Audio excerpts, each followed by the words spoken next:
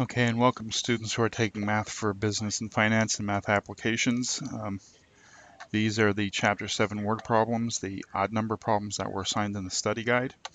And definitely go through the drill problems for this chapter, the videos for them, and the theory, uh, because everything was building one upon the other.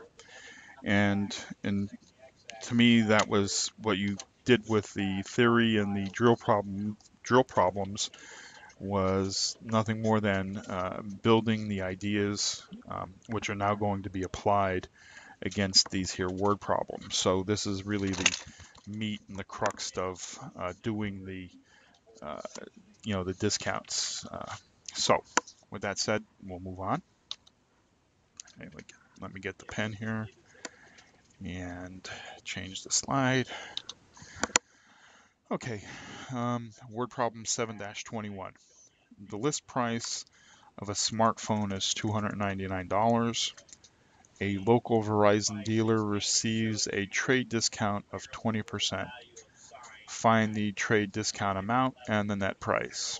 Well, relatively simple. If our list price is $299 and the discount amount is 20%, well, we take 20% of 299 and let's see here, that ends up being uh, $59.80. So that's our discount amount. And this was our list price. And to find out what our net price is, we take the $299 and subtract the uh, discount amount, 59.80 and that ends up being 29.32.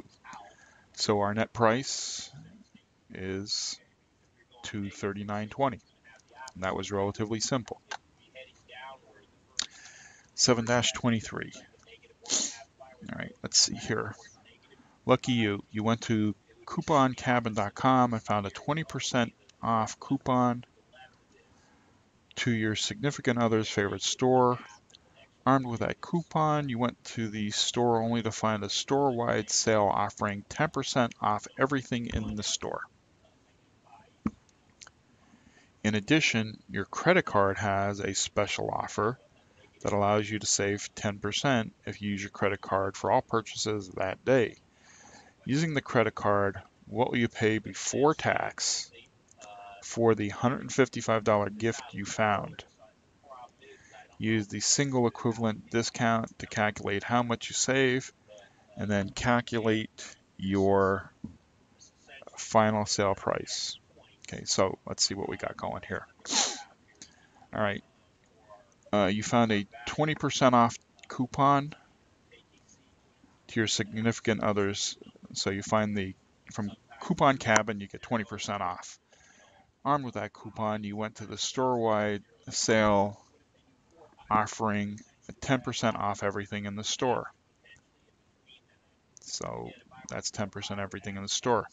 In addition, your credit card offers, credit card has a special offer that allows you to save 10% if you use your credit card for all purchases that day.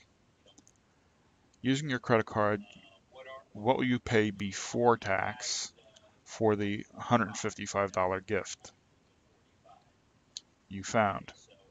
Okay.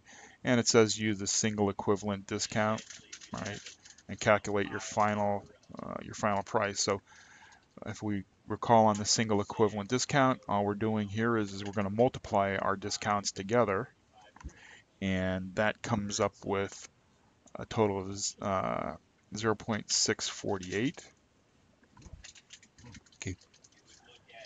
Um, remember, the way we, we do that is the reciprocal of that, the opposite of that, the complement of 20% is 80%, times the opposite of 10% is 90%, and the opposite of 10% is 90%. And, oh, excuse me, sorry about that.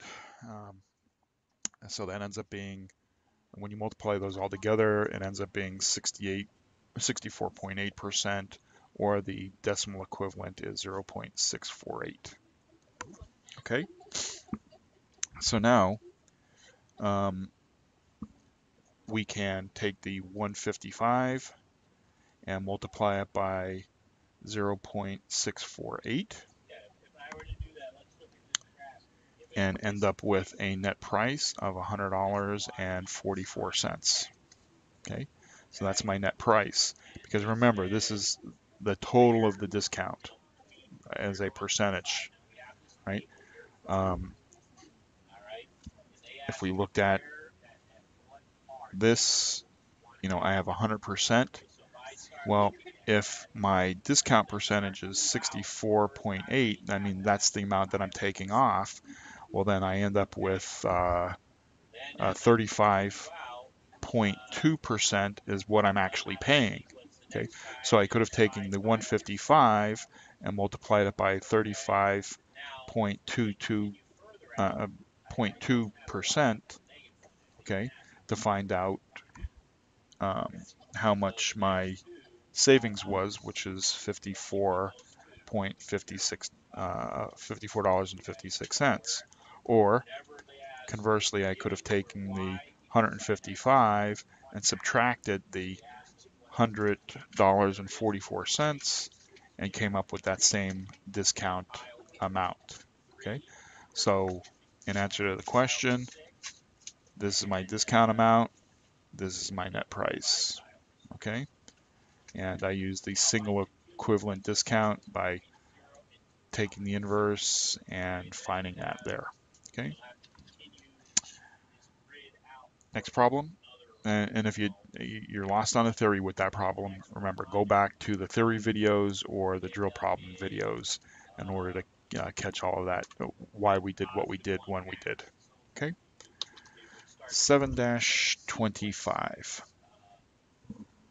Um, a manufacturer of skateboards offered a 5 uh, to 1 chain discount to many customers. Bob Sporting Goods ordered 20 skateboards for a total of $625 for a total of for a total $625 list price. What was the net price of the skateboards? What was the trade discount amount? Right, so our net price is $625. I'm sorry, our list price is $625. And because we have a 5 to 1 chain discount, um, that's 95% times 98% times 99%, which ends up being, uh, let's see here, 92.169 as a percent or 0.92169. So if I have um, $625 and I multiply it by the 0.92169, okay, I end up with a net price of $576 and of course, I'm rounding to cents here, so uh, 6 is greater than 5, so I end up with $576.06 is my net price. And the difference between the two 625 less 576.06 the difference between the two ends up being uh, $48.94 uh, here. So that's my discount amount. Okay now remember I could have taken my uh, single equivalent there and subtracted that from 1 so that's 1 minus 0.92169 and I would have ended up with um, 0.7831 and if I took the 625 times the 0.7831 I would have ended up with the same discount amount okay two different ways to arrive at that discount amount right?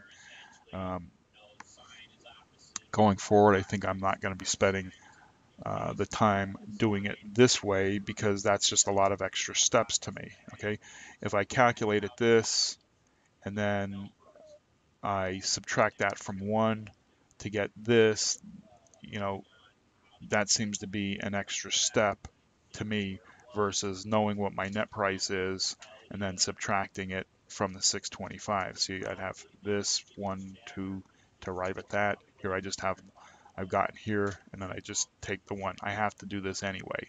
Or I could have done the whole problem in reverse and, and come up with this discount amount right here and then subtract that from 625 in order to get my net price. You know, it's six of one, half a dozen the other. It just depends upon which uh, perspective that you're coming from. Okay.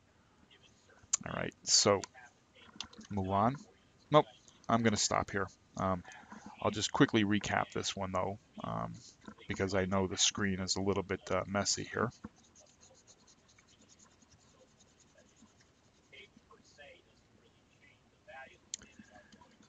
Okay.